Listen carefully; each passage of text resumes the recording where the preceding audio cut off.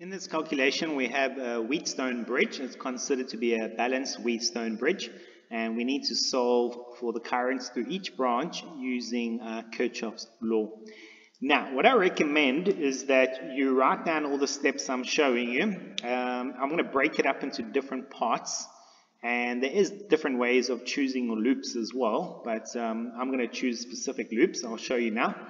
So I'm going to have three equations. My first equation, I'm going to be starting with uh, loop A, B, D, A. All right, let me use my laser here to highlight this network. So we have a battery. You can see positive terminal, negative terminal. It is in the anti-clockwise direction. And then for our volt drop, we have I1 times R1. And I1 is in a clockwise direction.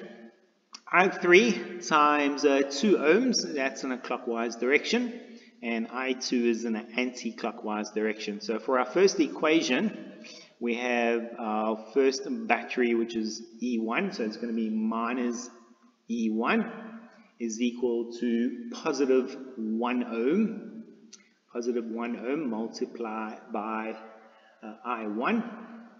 Then we're going to have plus 2 ohms multiplied by I3 and then we're going to have minus 1 multiplied by I2. So the value of the battery over there will be minus 3 volts is equal to I1 minus I2 plus 2I3.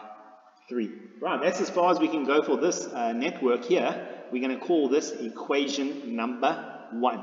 Let's move to the next equation. And in this equation, we'll be looking at loop A, D, C, and moving back to A. Right, so let me use my laser and highlight this network. So we have uh, I2, and you'll notice we're using this clockwise arrow here at the bottom as our frame of reference. And so that I2 over there is actually going to end up being um, in a clockwise direction, positive. 3 ohms times I2 plus I3. That will be in a clockwise direction. And uh, I1 plus I2 is also in a clockwise direction. And then we have our third battery, which is clockwise. So let's go ahead and write those down. So we have uh, negative E2, because it's anti-clockwise, plus positive E3, because that's clockwise. Then we have uh, 1 ohm, positive 1 ohm multiplied by I2, um, plus 3 ohms multiplied by I2 plus I3. And then we have 1 ohm plus, sorry, multiplied by I1 plus I2. Okay, so if we multiply all that, substitute the voltages, so we'll have minus 3 volts plus 10 volts is equal to I2 plus 3I2 plus 3I3 plus I1 plus I2. So if you have a look over here, we've got lots of 2's that we can add up together. So we end up with uh, positive 7. We have 1I1 plus uh, 5I2 plus 3 times I3. And this will become equation 2. Let's take a look at our next network. Um, over here we'll be looking at A, B, C, and then back to A. So let me use my laser just to highlight that. So in this network we have uh, negative E1 and positive I1 times R1. Then we'll move back down over here. We'll have 2 ohms multiplied by I1, I3. That's clockwise. And then I1 plus I2 is clockwise and E3 is clockwise. So let's write this equation down.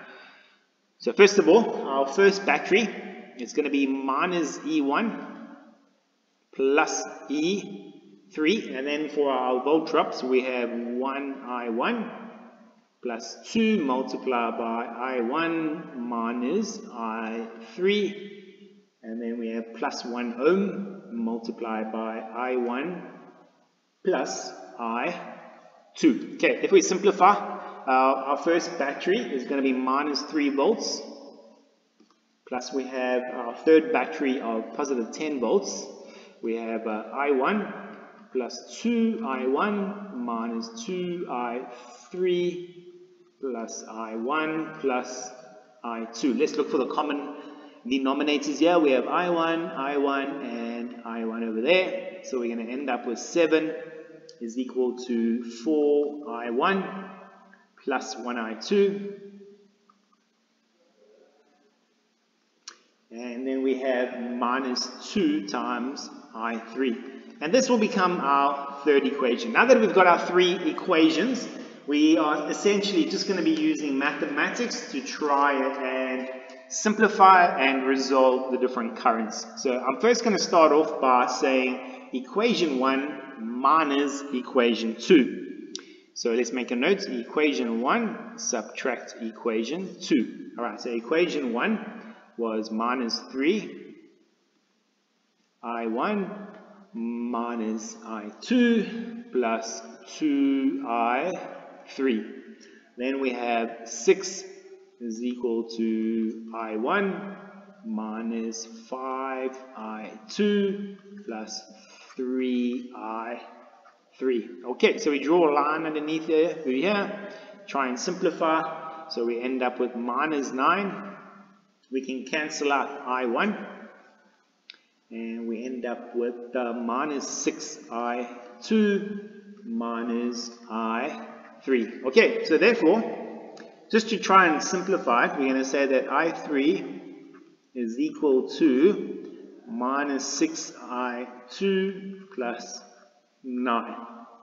Okay, now we can actually take this uh, bracket and we can actually substitute it now back into our equations to try and uh, resolve all these problems. So first of all, let's take I3 and substitute it into equation 2.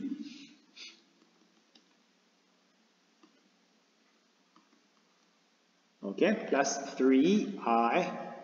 3i3. That's where we're going to substitute. So we got 6 is equal to i1 plus 5i2 plus 3 and then we're going to substitute i3 which is minus 6 I2 plus 9.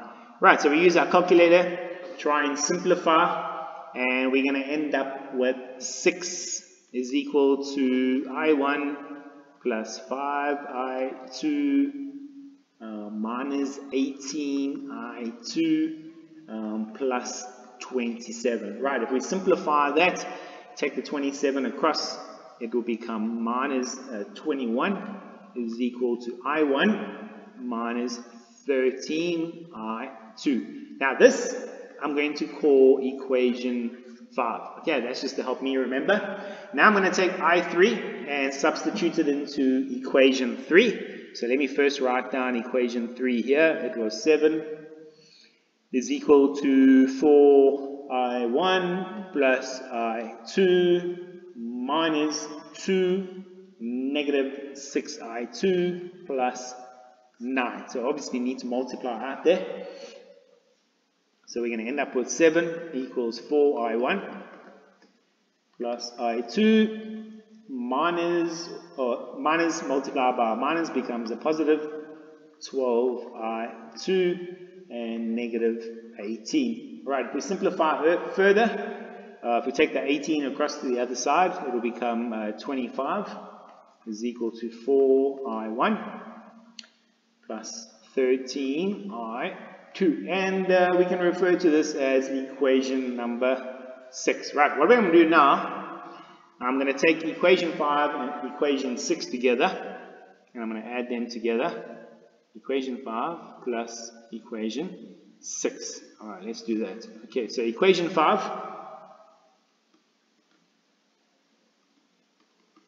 I1 minus 13 I2 and equation 6 was uh, 25 equal to 4i1 plus 13i2. So what you can see here, we, what we've achieved, we can cancel out i2.